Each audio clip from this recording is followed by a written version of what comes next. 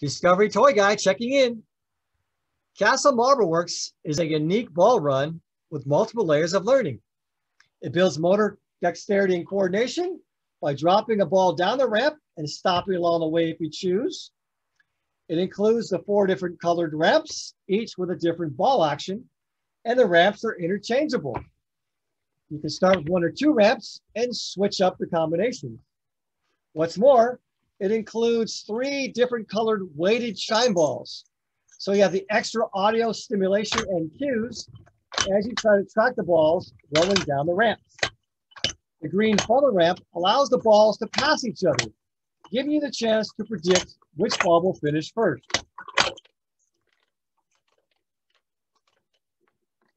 You can even start with the door closed for a surprise result. The balls store on top of the castle or in the top turret. It also makes for a huge castle playset for hours of imaginary play. That's Castle, Castle Marble Works Chime Ball Run from Discovery Toys.